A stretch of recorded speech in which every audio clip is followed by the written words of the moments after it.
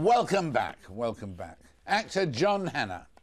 He's best known for his roles in Four Weddings and a Funeral, Sliding Doors, and the hugely successful Mummy franchise. Uh, his latest part, though, sees him starring in the US television drama Spartacus.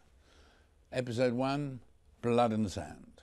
It's a huge ratings hit in the States, and it comes to the UK, for instance, next week, and then to much of Europe and Latin America over the summer. Here is a quick clip.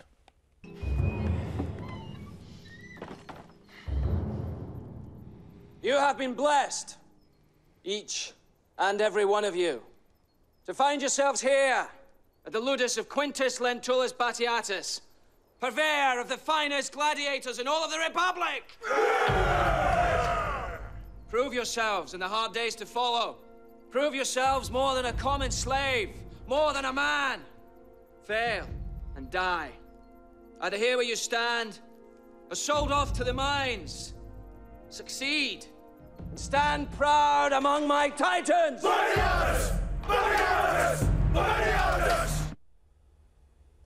Dramatic stuff. And John is here. Welcome, John. Thank you very much. Where was that all taking place? In Rome? No. Uh, in Ca- the city's meant to be Capua. We shot the whole series in three sound stages in Auckland, New Zealand. Oh, really? I was there for eight months last year. Were you? Yeah, and it creates uh, doing it in the sound stage with, with the CGI. It creates that kind of uh, graphic novel look about it. And in this, you are clearly a right bastard, in fact, this. Y- Could you see that? Yes. yes, yes, I am actually a right bastard in it, which was uh, fantastic to discover because I started with uh, with only the first episode as an actor. You get your episode and you say yes or nay, and then turn up and start work. And uh, as each episode rolls out, as they come to the actors, you find out what's happening, and it was great. It was a, a, a revelation for me what uh, what I get up to in this show.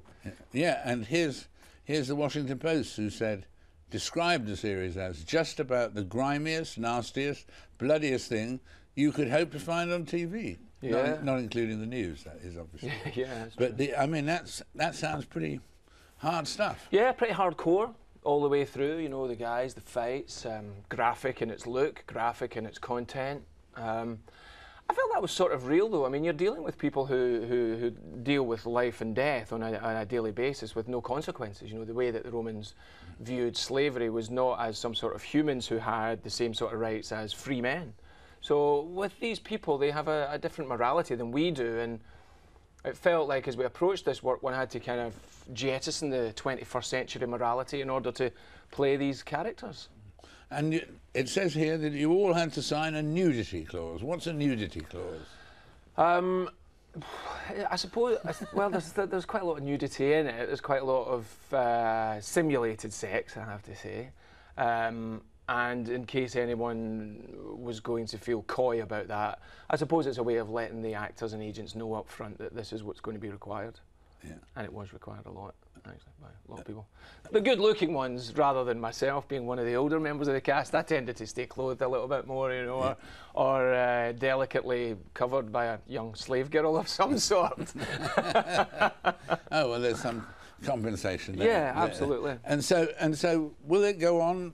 The first series is, is a wow. Will it go on to a second and third series? Very much so. I mean, the writers are the writers are very uh, cognizant of, of the, the, the points in history that they know of Spartacus. Uh, and there are, as, as you're probably aware, a couple of Romans who, who wrote of him as a real human being, and they want to follow that story.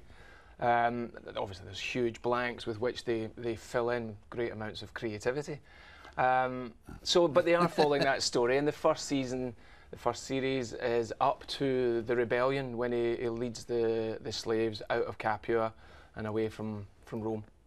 And uh, then the second series will, will continue on that. And in fact, Four Weddings and a Funeral was probably your first hit, really, wasn't it? Totally, yeah. I mean, I'd had varying degrees of success at the Bush Theatre and things like that, you know, but nothing that would have uh, put me in the national consciousness. Four Weddings was a, a small part for, for me, but, you know, integral to the story and, and the film was incredibly successful and elevated my profile uh, on a professional level. And was was a bit of a breakthrough, I suppose, in terms of a of a uh, man-man relationship. Yeah, in as much as in as much as it wasn't anything that was commented on or seen by their contemporaries as being unusual or mm. you know looking at the uh, the judgment the other day in Namibia about the the two was it Namibia? No Malawi.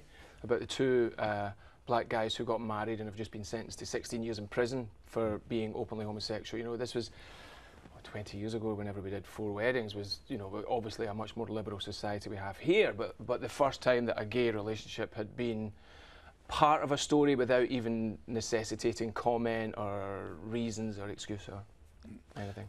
And uh, in terms of the uh, the other things you've done, what what what's been most important to your career between four four weddings and Spartacus?